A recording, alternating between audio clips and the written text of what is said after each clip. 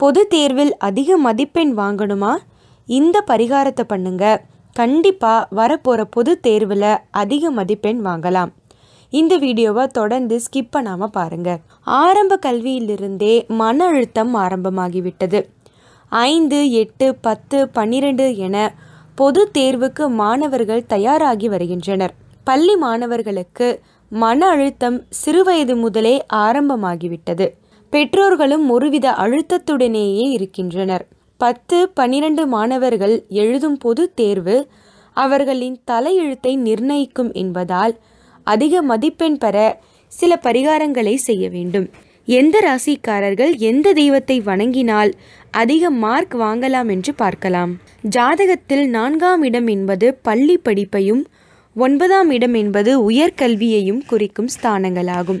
புதன் வித்யா காரகனாவார் குரு பகவான் மூளைக்கும் பேரறிவுக்கும் காரகனாவார். சுகஸ்தானம் எனப்படும் நான்காம் இடமும் நான்காம் வீட்டோனும் புதனும் குருவும் வலுப்பெற்ற ஜாதகர்களுக்கு பள்ளி படிப்பு சிறப்பாக அமையும். எல்லா பாடங்களிலும் அறுபது சதவிகிதத்துக்கும் மேல் மதிப்பெண்கள் பெற்று பள்ளியிலும் மாவட்ட அளவிலும் அல்லது மாநில அளவிலும் முதலிடம் பெற வாய்ப்பு உண்டு.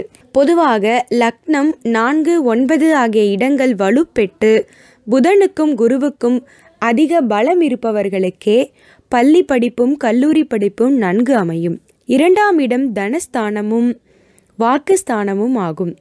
ஐந்தாம் இடம் என்பது பூர்வ புண்ணியம் புத்தி யூக சக்தி ஆகியவற்றை குறிப்பிடும். பத்தாம் இடம் தொழில் ஸ்தானமாகும்.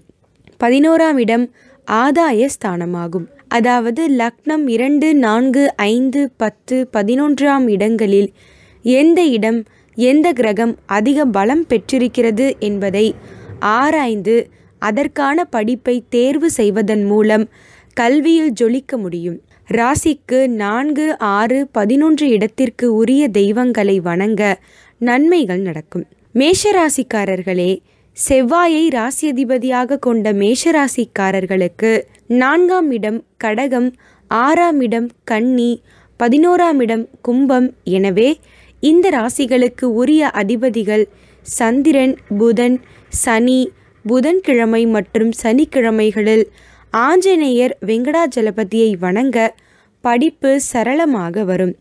நல்ல மதிப்பெண் வாங்கலாம். ரிஷபராசிக்காரர்களே சுக்கிரனை ராசியதிபதியாக கொண்ட நீங்கள் சிம்மம் துலாம் மீனம் ஆகிய ராசிகளுக்கு உடைய கிரகங்களின் தெய்வங்களான சூரியன் சுக்கிரன் குரு பகவானை வணங்கலாம். வெள்ளிக்கிழமைகளில் லட்சுமி நரசிம்மர் பிரம்மாவை வணங்கலாம்.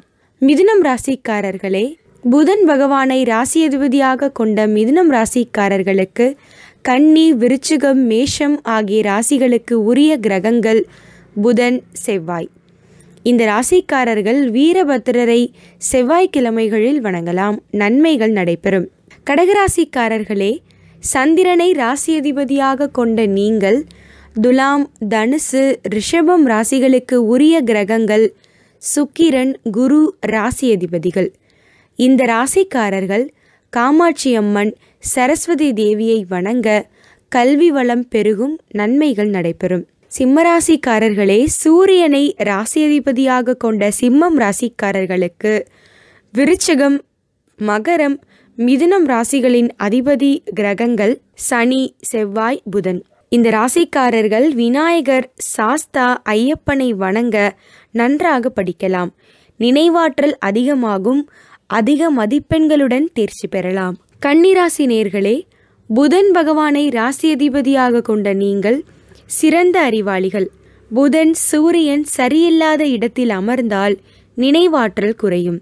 இந்த ராசிக்காரர்கள் நன்றாக படித்து நினைவாற்றலுடன் தேர்வு எழுத மகாகாளி சித்தர் பீடங்கள் ராகவேந்திரரை வணங்கினால் நினைவாற்றல் அதிகமாகும்.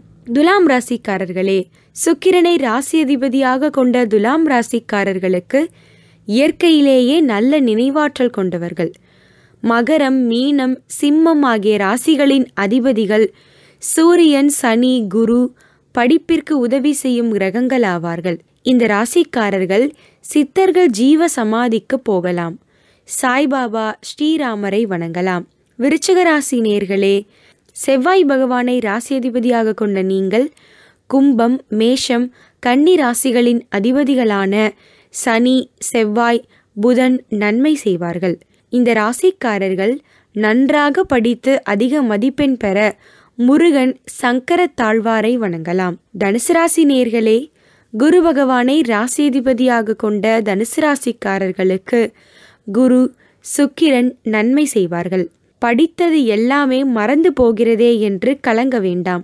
வெள்ளிக்கிழமைகளில் மகாலட்சுமி பத்மாவதி தாயாரை வணங்க நன்மைகள் அதிகம் நடைபெறும். தேர்வில் அதிக மதிப்பெண் வாங்கலாம்.